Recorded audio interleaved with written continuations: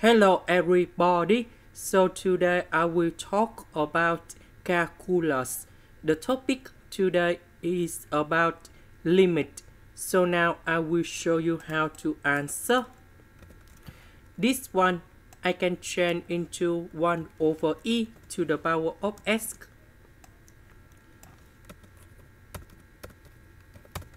So I will put this one in here. Next, when s go to positive infinity, this one will go to positive infinity. This one will go to positive infinity. So in this situation, that is about positive infinity over positive infinity. So we can use about L hospital. So this one we do first the derivative on numerator and denominator.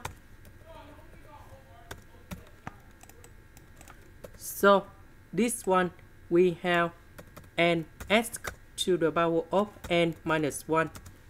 This one we keep the same. Now when s go to positive infinity, this one will go to positive infinity this one will go to positive infinity. So we continue use about L hospital again. So that's about this one.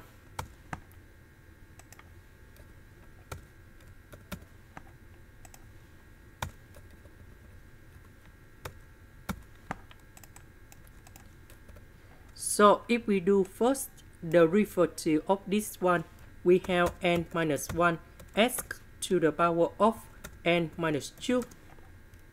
This one we have e to the power of s.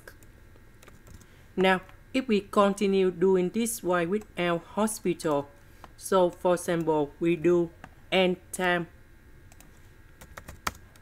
of L hospital.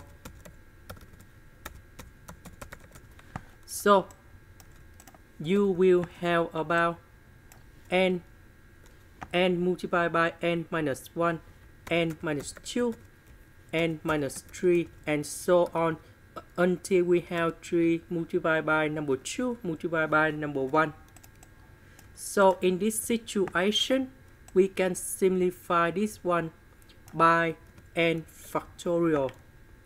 Now when s goes to positive infinity this one will go to positive infinity and factorial divided by positive infinity. You got about 0 and that is the final answer.